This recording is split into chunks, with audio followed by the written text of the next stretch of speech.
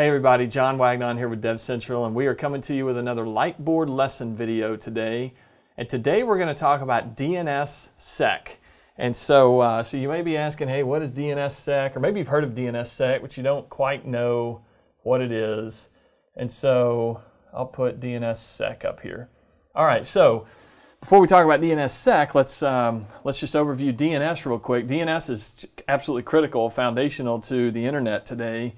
And uh, one of the issues with DNS is it was designed like back in the 80s. I mean, it's been around for a long time, uh, or as technology goes, it's a long time. But it wasn't designed with security in mind. And so let's say I'll just do a little I'll just do a little example here. Let's say you have a client who goes to um, I don't know example.com, and so you type example.com in your little address bar there in your browser, but that needs to be turned into an IP address.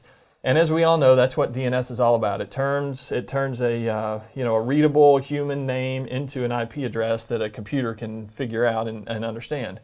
And so it goes through this recursive lookup process. Um, well, it potentially goes through the recursive look, lookup process, but let's just say, for the sake of this example, that it needs to do that. So it's going to go out to the root.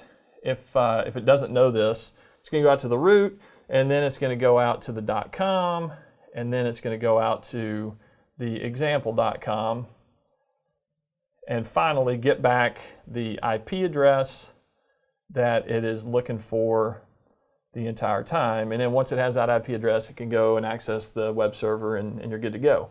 All right, so that's that's quick, very, very quick DNS uh, review. But let's say, for example, there's some bad guy out there, and I'll draw him. I'll draw him in blue. So we'll say uh, we'll say bad guy injects himself right here and he takes over control of this, let's say. And so when the IP address that comes back, let's say it was supposed to be, you know, 1.2.3.4, well, he let's say he sends back, you know, 1.2.3.5. So that's the wrong that's the wrong IP address. And so now this client is going to go out there and say, okay, well, let me access, you know, 1.2.3.5. And lo and behold, he's at the bad guy's website. The bad guy does all kinds of bad things, and then you know this guy's this guy's day is really ruined at that point. That's but this so anyway, so that's the that's the problem with DNS, and that introduces the need for DNSSEC. So what DNSSEC does is it validates uh, these different lookups or these different requests, and it says, hey, I want to make sure that when you say you are someone, that you are actually that person.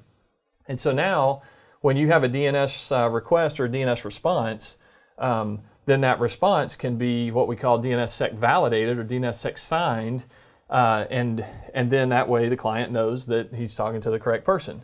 And so the way that the that the DNSSEC validation or, D, or the DNS uh, signed thing happens is uh, is by this idea of a chain of trust. So I'll put chain of trust right here. And so just like you have the root uh, domain and then the, the top level domain and then like your domain, so it kind of goes down here.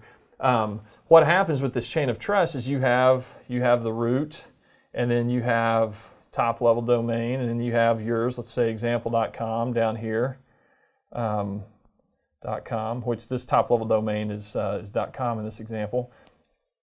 And so what have you've got this you've got this uh, organization out there called ICANN, uh, ICANN, and and they've kind of taken over this and they've said, hey, this is a big deal, and we need to make sure that all this happens correctly. And so they have they have formalized all this, and they said, hey, let's let's uh, let's sign.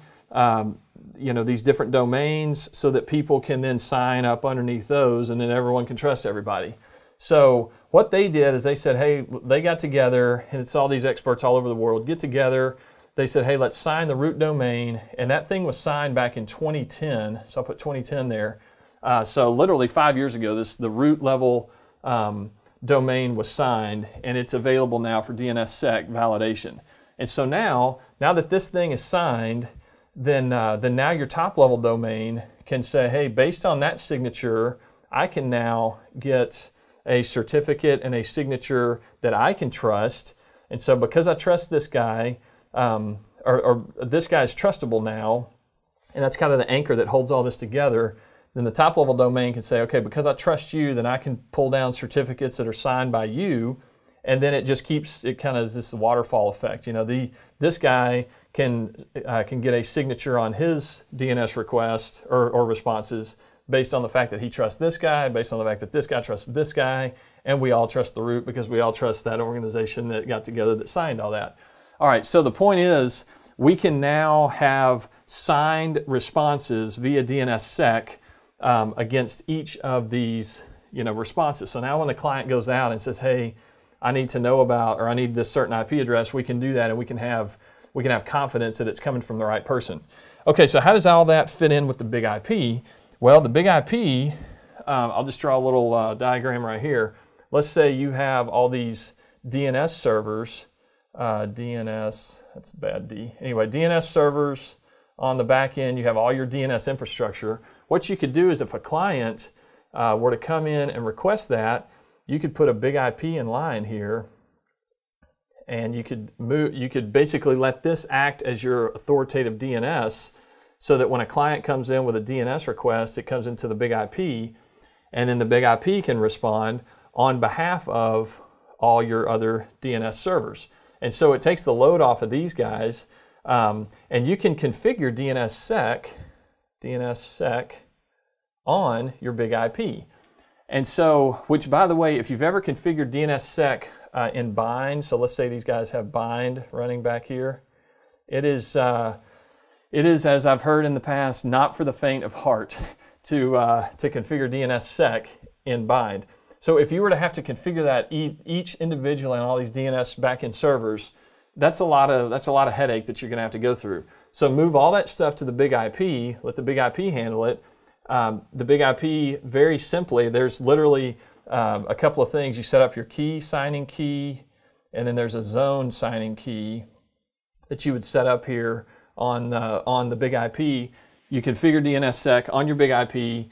Uh, it handles all the, all the responses. So now when a client comes in to any one of your backend servers uh, looking for that IP address that we just talked about, the big IP is now going to send back a DNSSEC validated response to the client the client's going to say, hey, it's DNSSEC validated. I can, I can look at that chain of trust. I can know that it's coming from the person that I want it to come you know, from.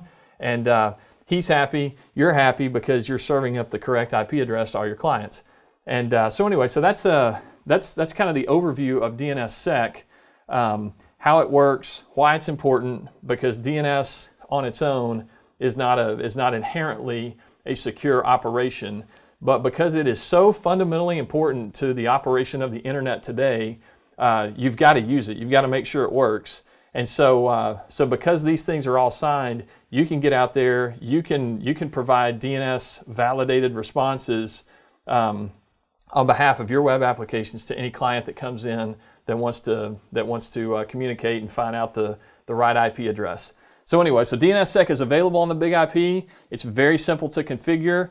Get out there, check it out, configure it up, offer those validated responses to all your clients. They'll be happy, you'll be happy, we'll all be secure. So, uh, so thanks for tuning in today, and we'll see you guys out there in the community.